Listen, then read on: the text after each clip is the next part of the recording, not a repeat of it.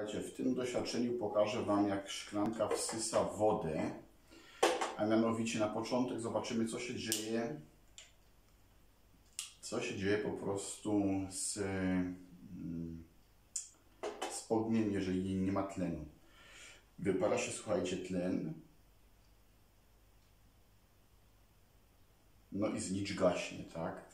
A teraz zobaczcie, teraz kładziemy ten znicz tutaj po prostu na wodę. Kładziemy znicz na wodę. Podpalamy.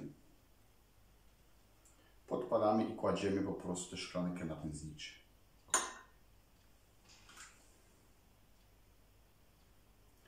Co się, słuchajcie, dzieje?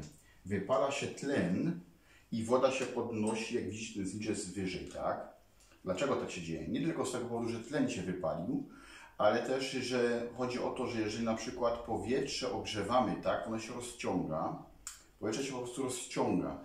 Później gaśnie płomień i, powie, i e, to powietrze znowu po prostu, słuchajcie, y, stara się wrócić do swojej, do swojej, do swoich rozmiarów i dlatego wciąga, zasysa po prostu tę wodę do góry. Nie tylko ciśnienie z zewnątrz, tak, ale też po prostu to, że to powietrze po, po zgaśnięciu płomienia e, z,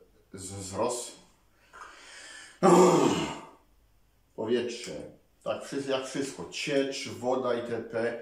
pod wpływem słuchajcie, powietrza pod wpływem ognia rozszerza się jeszcze raz, a już teraz niebo zamokło.